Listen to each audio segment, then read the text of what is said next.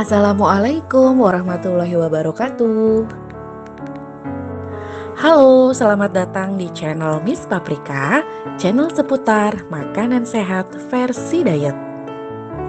Buat kamu yang baru bergabung, jangan lupa untuk subscribe ya. Semoga yang sudah subscribe sehat selalu dan rezekinya melimpah. Amin.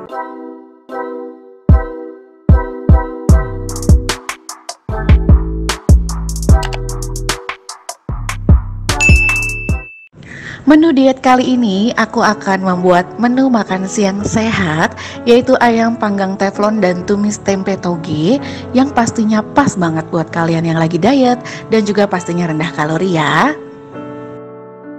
Nah, kalian bisa siapin bahannya ini ya. Yang pertama, langsung aja untuk ayamnya kita siapkan ya, boleh dipotong-potong sesuai selera. Kemudian kita marinasi dulu ya Nah, untuk bumbu marinasi di sini aku pakai bawang putih bubuk.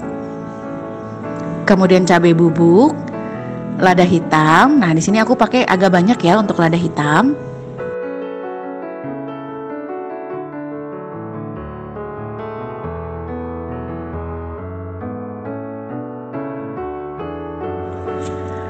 Kemudian kecap diet.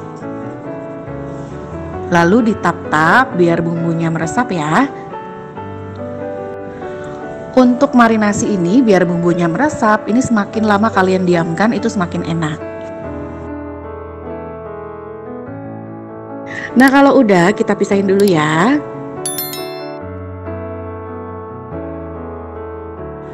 Lalu kita siapkan bahan tumisan dulu ya. Di sini yang pertama aku potong-potong dulu tempe. Di sini aku bentuk kotak-kotak ya. Lalu kalau sudah, siapkan juga kemangi yang sudah dicuci bersih. Di sini aku pakai daunnya aja. Dan juga togenya jangan lupa untuk disiapkan. Kemudian iris-iris bawang putih dan cabai. Nah, tingkat kepedasannya sesuai dengan selera kalian ya.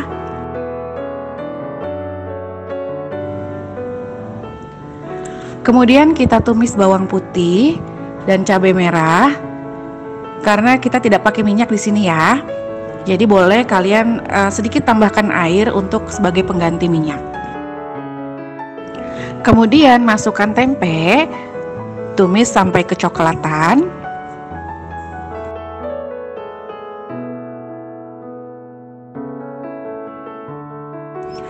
Masukkan togenya, diaduk-aduk.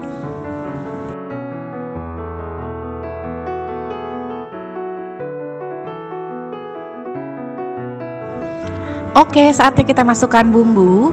Di sini aku pakai garam Himalaya. Kemudian kaldu jamur, lada hitam, kemudian masukkan kecap diet ya. Kemudian diaduk-aduk sampai rata.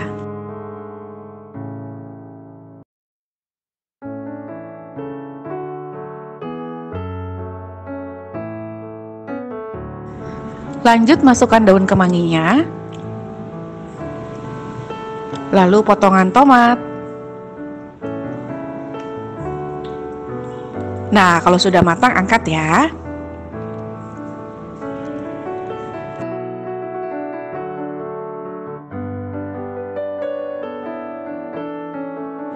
Lanjut kita panggang ayamnya di teflon.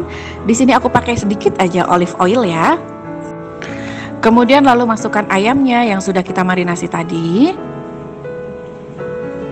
Boleh ditutup dulu biar matangnya maksimal.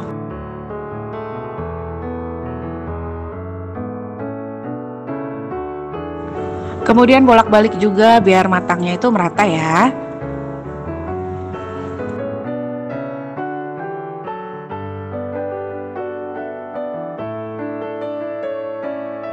Nah, kalau sudah matang, siap kita sajikan.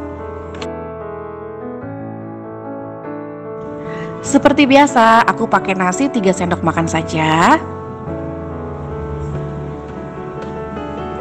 Lalu masukkan tumisannya. Nah, kalau kalian merasa seratnya kurang, nanti bisa boleh tambah timun ya atau selada atau apa pun yang ada di kulkas kalian silahkan. Aku tadi udah makan salad, jadi udah cukup banyak sayurnya ya. Jadi uh, bisa tambahkan ayam panggangnya aja, aku agak banyak